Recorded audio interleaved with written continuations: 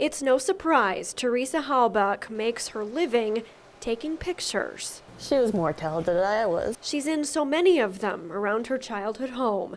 That's why her mom made this for her. She calls it Teresa's life story. It was a wedding present for her. She didn't even know about it.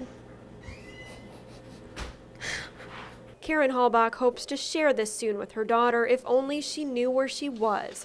She hasn't seen or heard from her since Monday. Everything seems to come come to an end on Monday afternoon. The Calumet County Sheriff's Department says that includes calls from her cell phone and charges on her credit cards. They call Teresa's disappearance suspicious, but have no leads. Her family started to worry when Teresa didn't show up to her studio in Green Bay, didn't return her sister's phone calls, and never came home.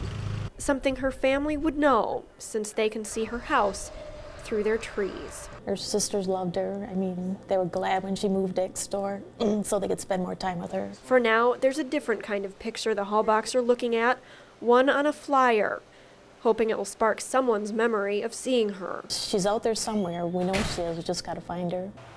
She's a good kid and we want, want her back, that's for sure.